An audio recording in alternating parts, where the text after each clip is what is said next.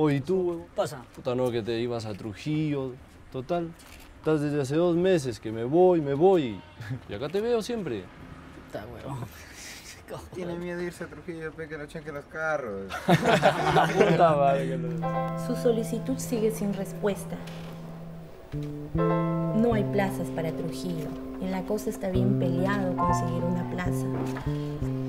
Yo te sugeriría en este caso de que te presentes para la sierra. Hay dos plazas para Toledo.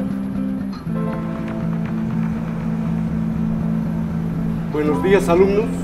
Buenos días, director. Les voy a presentar a su nuevo profesor.